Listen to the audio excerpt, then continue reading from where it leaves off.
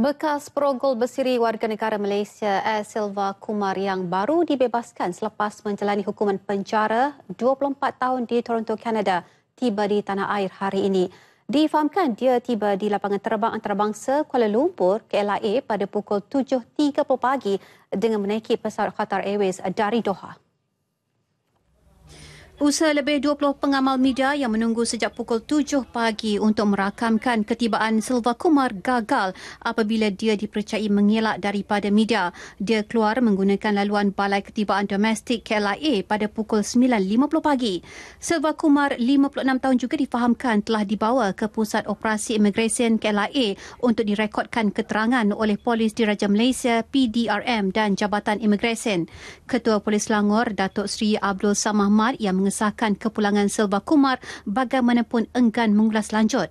Silva Kumar yang berasal dari Pulau Pinang dihukum penjara selama 24 tahun pada 1992 setelah didapati bersalah termasuk bagi 19 tuduhan serangan seksual.